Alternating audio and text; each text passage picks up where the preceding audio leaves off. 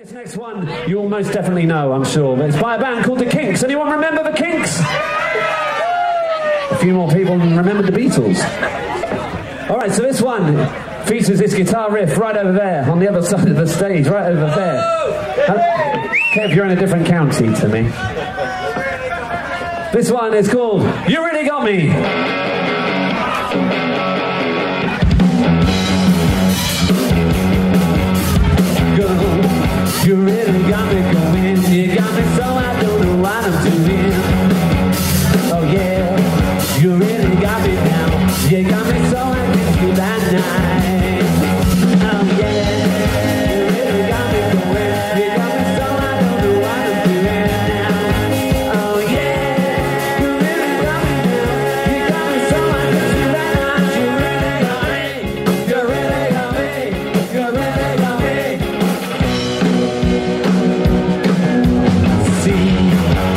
You know I'll always be by your side.